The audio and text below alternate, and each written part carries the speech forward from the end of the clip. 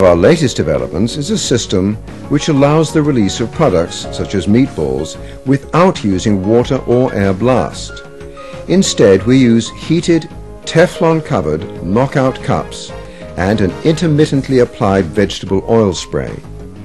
This works in combination with a very small clearance, 0.75 millimeters, between the knockout cup and the hole in the forming plate. This results in perfect release, better retention of product shape, less product rejects, less filtering, and because there is no water on the product, less contamination and longer lifetime for the cooking oil. Here, egg-shaped balls of a potato and vegetable mix are being formed at 20 degrees. Our larger machines, from the 340 up, can be fitted with double output rolling attachments, which increase productivity by 80%. These double rollers can roll meat, fish and vegetable products into 7 to 40 gram balls.